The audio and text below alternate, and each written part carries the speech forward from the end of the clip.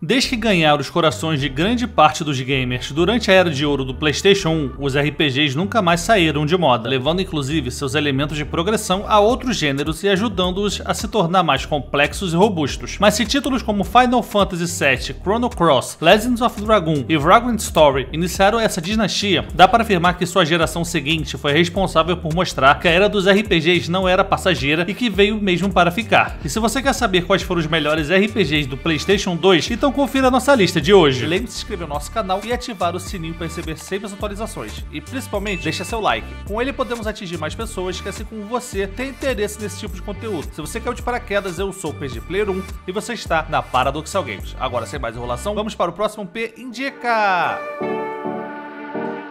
De acordo com 11 de cada 10 sites especializados em reviews, Final Fantasy XII é o melhor RPG desenvolvido para o PlayStation 2. E como nós também concordamos com essa afirmação, não poderíamos começar a lista com outro título senão este, que foi alvo de muitas polêmicas durante seu lançamento por apresentar diversas mudanças na tradicional fórmula de jogabilidade da franquia. Mas felizmente, o jogo só mostrou o quanto a Square Enix estava certo, já que o game acabou servindo como base para muitos RPGs de ação lançados depois dele. Contando a história de Van, um garoto de rua que sonha em se tornar um Pirata do Céu, Final Fantasy XII conta com uma das melhores tramas dentro de todos os RPGs já feitos até hoje pela indústria.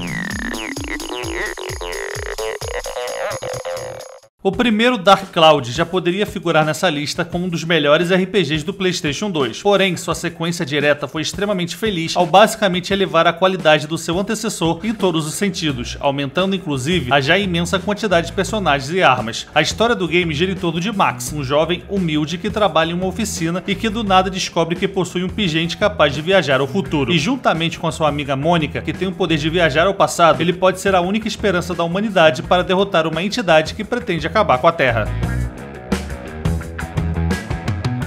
Quando foi lançado oficialmente lá em 2001, Final Fantasy X foi automaticamente considerado como um novo grande marco da franquia após o estrondoso sucesso de Final Fantasy VII. Só esta informação já seria suficiente para despertar muita curiosidade sobre o título e justificar sua presença na lista, mas fazemos questão de contar um pouco mais sobre ele. Final Fantasy X conta com a história de Tidus, um rapaz que é jogado mil anos no futuro por uma entidade misteriosa. Lá ele descobre que precisa proteger uma heroína chamada Yuna, a única esperança da humanidade para evitar a destruição do planeta planeta. O caso de amor entre Tidus e Yuna pode ser apontado como um dos mais bonitos e bem construídos do universo gamer.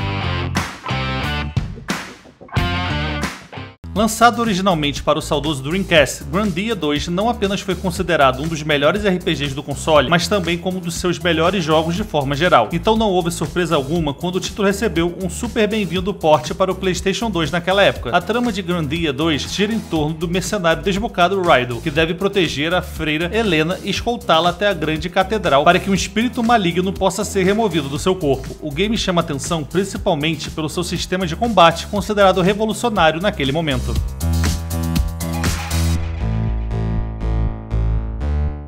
A franquia Persona é conhecida mundialmente por diversos fatores, como os gráficos estilo anime, as histórias extremamente bizarras, os personagens marcantes e um sistema de combate e progressão que beira a perfeição. E claro que Persona 4 carregou tudo isso e mais um pouco dentro de si. A história do game se passa em uma pequena cidade rural no interior do Japão, que envolve conflitos psicológicos de adolescentes do ensino médio, como isolamento social, medo do novo, inveja, busca por identidade, impaciência e aceitação de quem se é. E exatamente por tratar temas delicados, a franquia é sempre envolvida por muito polêmica. Apesar de não ter tanto reconhecimento no Brasil, a franquia Dragon Quest é um verdadeiro fenômeno no Japão, o que faz com que o hype em torno de novos títulos da série sejam sempre enormes. E como não poderia deixar de ser, seu oitavo capítulo fez jus às expectativas nipônicas, mesmo não oferecendo tanto assim em termos de inovação para o gênero. O plot central de Dragon Quest VIII, Journey of the Cursed King, é bem simples. Assumimos o papel de um herói anônimo que tem como missão principal derrotar um mago que supostamente transformou o rei e sua filha em um monstro e um cavalo, respectivamente, é claro. Mas a trama vai se ramificando aos poucos poucos e mostrando que nem tudo é o que parece ser.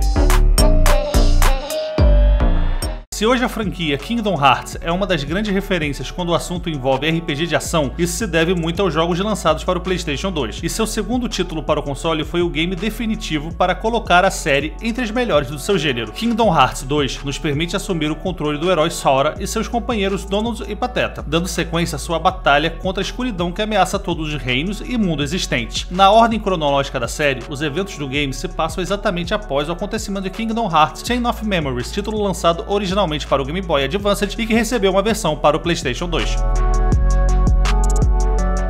Apesar do enredo demasiadamente bizarro, que envolve a presença de um estudante do ensino médio e um mundo pós-apocalíptico lutando contra forças que controlam o tempo e o espaço, Shin Megami Tensei 3 Nocturne chama atenção pelo seu sistema de combate e de recrutamento de demônios, extremamente viciante e competente. Mas mesmo com ótimos recursos técnicos e figurando com merecimento em nossa lista, o título pode afastar um pouco os jogadores mais casuais devido ao seu alto grau de complexidade, sendo provavelmente o mais complicado de se finalizar dentre todos citados por aqui.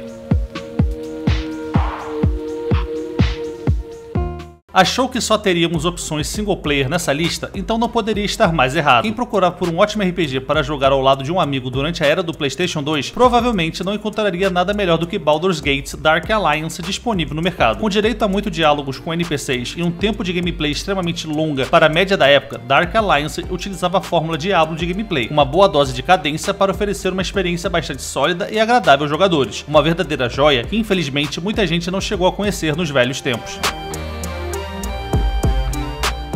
Fechando nossa lista, temos Shadow Hearts From the New World, um RPG por turnos pouquíssimo conhecido aqui no Brasil, mas quem conhece o título sabe muito bem que é mais do que justo ele aparecer por aqui. Em sua trama, assumimos o papel de Johnny Garland, um rapaz de 16 anos que curiosamente trabalha como detetive profissional. Após acordar sem memórias e descobrir que seu pai e sua irmã morreram num misterioso acidente, Johnny decide se juntar a um caçador de recompensas em sua busca por respostas, acabando no encalço de uma perigosa gangue criminosa.